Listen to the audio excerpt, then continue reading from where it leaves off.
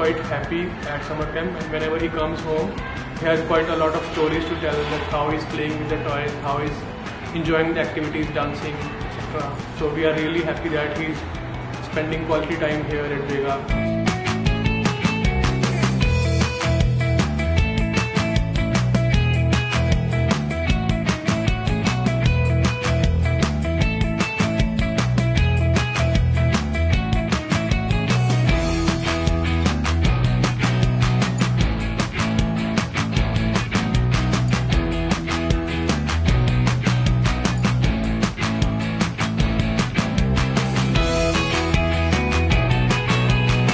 Really looks forward to come to Vega for the summer camp every morning. She comes uh, happily, uh, comes back home also very happily.